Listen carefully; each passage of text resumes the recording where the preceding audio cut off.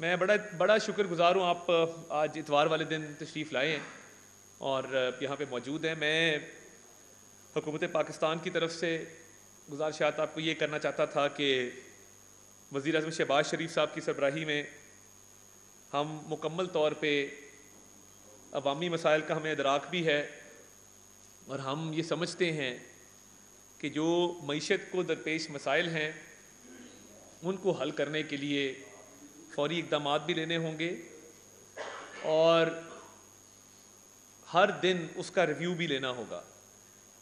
وزیر اعظم پاکستان نے آتے ہی جو معیشت کے حوالے سے اپنا ایجنڈا دیا، اس میں میں سمجھتا ہوں کہ وہ چاہے حکومتی اخراجات کو کم کرنا ہو، وہ چاہے نجکاری کے معاملات ہوں کہ جو بہت زیادہ خسارے میں ہمارے کچھ قومی ادارے ہیں، ان کی نجکاری کا معاملہ ہے، اس کو بھی انہوں نے بڑی سنجیدگی سے آتے ہی اس کو ٹیک اپ کیا۔ اس کے علاوہ میں سمجھتا ہوں کہ بہت اہم جو کام وہ کرنے جا رہے ہیں، وہ ایف بی آر کی تنظیم نو ہے۔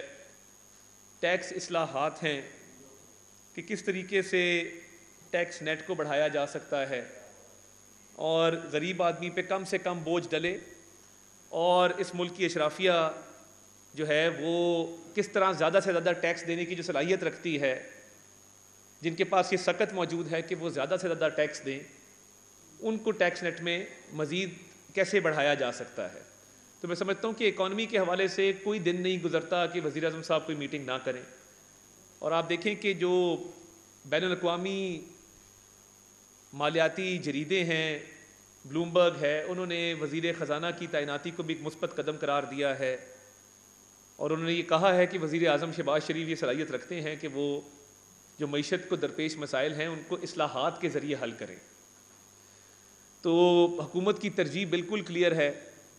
سیاسی استحکام جو ہے، اس کے نتیجے میں ہی معاشی استحکام آتا ہے۔ اور اس پہ بھرپور کام ہو رہا ہے، محنت کے ساتھ کام ہو رہا ہے۔ اس کے علاوہ میں کچھ قومی یکجہتی کے حوالے سے آج آپ سے بات کرنے کے لیے آپ کو میں نے زحمت دی ہے۔ آپ کے علم میں ہے کہ شمالی وزیرستان کے علاقے میر علی میں کل سات شہادتیں ہوئیں اور بڑا ہی ایک افسوسناک واقعہ ہے، ایک دہشت گردی کا واقعہ ہوا۔ پاک فوج کے جوانوں نے، افسران نے اس میں جامع شہادت نوش کیا۔ اور آپ دیکھیں کہ جو اس میں ایک کپتان، تیئیس سالہ کپتان شہید ہوئے ہیں۔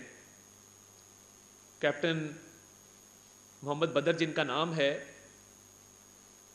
وہ پانچ بہنوں کے اکلوتے بھائی تھے۔ آپ دیکھیں کہ اس گھر پہ کیا گزری ہوگی کہ جب وہ جستے خاکی وہاں پہ لایا گیا ہوگا۔ دہشت گردی کے خلاف جو جنگ پاکستان میں پچھلی کئی دہائیوں سے جاری ہے، اس میں بڑی قربانیاں دی گئی ہیں۔ پاک فوج کے جوانوں افسران نے، پولیس نے، قانون نافذ کرنے والے اداروں نے، پاکستانی شہریوں نے پاکستانی سیاستدانوں نے، افسران نے۔ اور یہ قربانیوں کی وجہ سے ہی یہ ملک آج قائم و دائم ہے، یہ ملک محفوظ ہے۔ کہ اس میں، اس ملک جب یہ بنا تھا، تب بھی جو ہجرت ہوئی، کتنے لاکھ لوگ شہید ہوئے۔ آج بھی اس ملک کے دفاع کے لیے لوگ جانوں کا نذرانہ پیش کر رہے ہیں۔ تو میں سمجھتا ہوں کہ ہم یہ جو کل وزیرستان میں واقعہ ہوا، ان شہدا کی قربانیوں کو خراج تحسین پیش کرتے ہیں، خراج عقیدت پیش کرتے ہیں۔ ان کے خاندانوں کے ساتھ ہمدردی کا بھی اظہار کرتے ہیں اور ہم ان کے ساتھ کھڑے ہیں۔ مگر چند شر پسند عناصر، آپ دیکھیں کہ میں یہ انسان الفاظ ادا کرتے ہوئے انسان جذباتی ہو جاتا ہے کہ جب یہ پانچ بہنوں کے اکلوتے بھائی کا جستے خاکی لایا گیا ہوگا، تیئیس سال کیا عمر ہوتی ہے؟ اتنی بڑی قربانی اس گھر نے، اس خاندان نے دی ہے۔ پانچ جوان ہیں، ان کے خاندانوں نے دی ہے۔ ایک لیفٹنٹ کرنل صاحب ہیں، کراچی سے، ان کے خاندان پہ کیا گزری ہوگی؟ انتالیس سال ان کی عمر ہے۔ تو یہ دیکھیے، یہ اس ملک کی بقا کے لیے، اس ملک کی سالمیت کے لیے قربانیاں دی جا رہی ہیں۔ مگر کل بہت ہی ایک افسوسناک واقعہ یہ پیش آیا کہ ایک سیاسی جماعت جس کے ماضی میں بھی یہ ٹریک ریکارڈ ہے کہ انہوں نے شہداء کی قربانیوں کے حوالے سے توہین آمیز اور تزیق آمیز کیمپین سوشل میڈیا پہ چلائی۔ میں آج اس کی بھی مذمت کرنے آیا ہوں۔ کل رات ان شہداء کا نماز جنازہ ادا کی گئی ہے۔ اتنی بڑی قربانی ہے اور سوشل میڈیا پر ماضی میں بھی لسبیلا کا ہیلی کاپٹر کریش ہو، آپ کو یاد ہوگا کہ اس میں بھی شہداء کی قربانیوں کی توہین کی گئی تھی، مذاق اڑایا گیا تھا۔ کل بھی یہی ہوا۔ اور میرے پاس کچھ ایویڈنس بھی موجود ہے جو میں آپ کے سامنے پیش کرنا چاہتا ہوں۔ اور اس ایویڈنس کے ذریعے میں آپ کو بتاؤں گا کہ کس طریقے سے تحریک انصاف کے جو کارکنان ہیں جو تحریک انصاف کے سوشل میڈیا کی ایک ٹیم ہے، وہ ان اکاؤنٹس کے پیچھے ہے جنہوں نے یہ توہین آمیز اور تصحیق آمیز کیمپین چلائی۔ دیکھیے، شہادت سے بڑا درجہ کوئی نہیں ہے۔ کوئی اپنی جان سے جائے، جان وطن پہ وار دے، وطن کے لیے اپنی جان قربان کر دے، اس کا خاندان پوری عمر اس غم میں رہتا ہے، اس رنج میں رہتا ہے۔ وہ غم کبھی مٹتا نہیں ہے۔ جب بھی میں دیکھتا ہوں شہدا کی مائیں، جب بھی تیئیس مارچ آتا ہے، چھ ستمبر آتا ہے، چودہ اگست آتا ہے، کوئی بھی ایسا موقع آتا ہے کہ جب ہم اپنے شہیدوں کو خراج عقیدت پیش کرتے ہیں، تو ان ماؤں کی، ان بہنوں کی آنکھیں نم ہوتی ہیں اپنے پیاروں کی یاد میں۔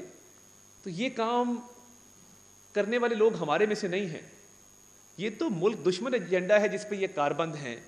کہ آپ شہداء کی قربانیوں کو تزہیق کا، توہین کا نشانہ بنا رہے ہیں؟ آپ میں یہ ہمت جرت کہاں سے آتی ہے؟ سیاست بعد کی بات ہے، یہ پاکستان ہے تو ہم ہیں۔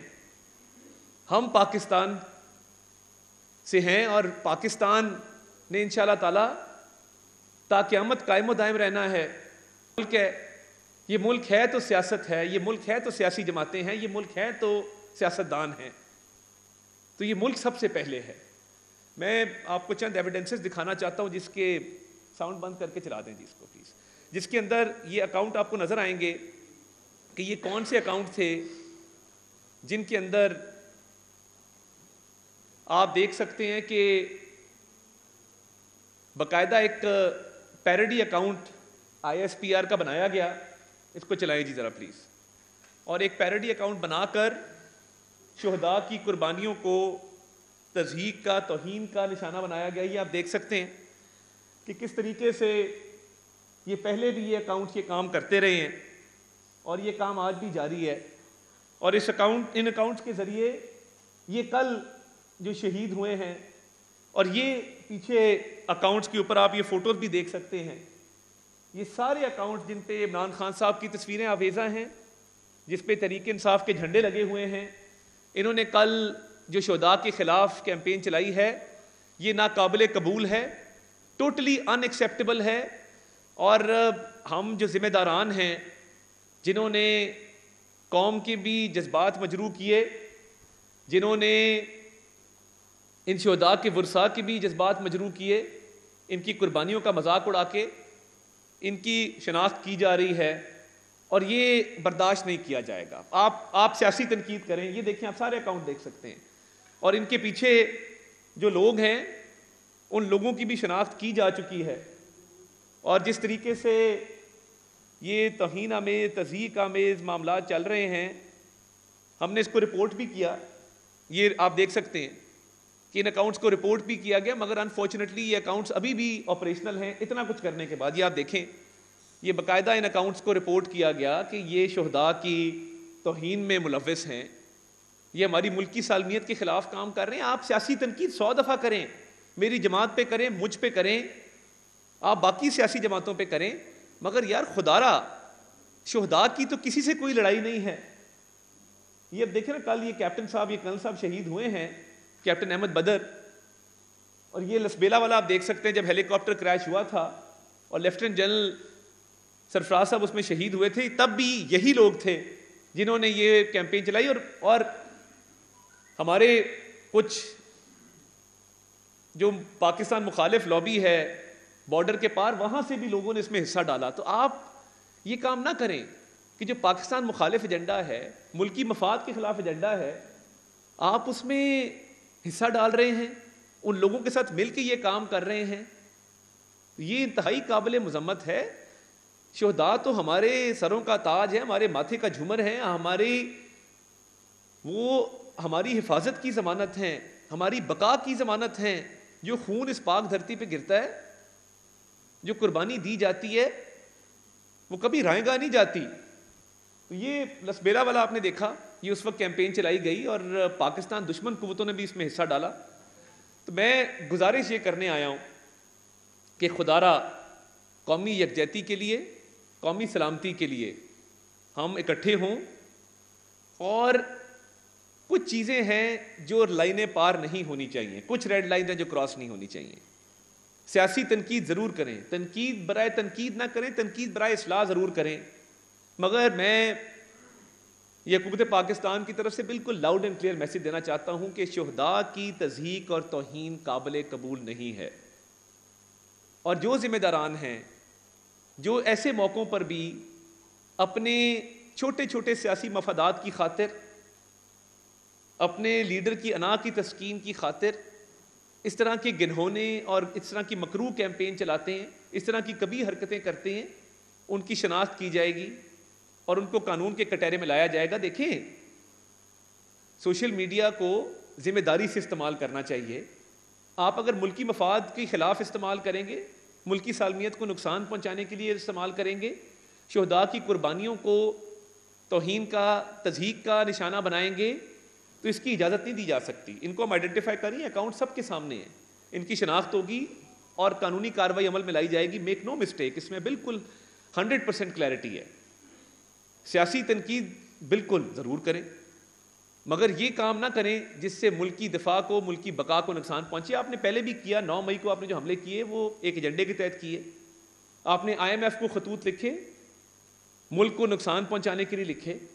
آپ نے ملکی دفاع کو نقصان پہنچانے میں کوئی کسر نہیں چھوڑی۔ آپ نے G S P plus status کے حوالے سے جو کاروائی دو تین دن پہلے کی، اب اس پہ آپ معذرت خواہ ہیں۔ آپ کہتے ہیں ہمارا تعلق کوئی نہیں ہے۔ کل بانی چیئرمین پی ٹی آئی نے کہا جی وہ نعرے غلط لگے آئی ایم ایف کی بلڈنگ کے باہر۔ مظاہرہ ٹھیک تھا۔ یہ کام نہ کریں۔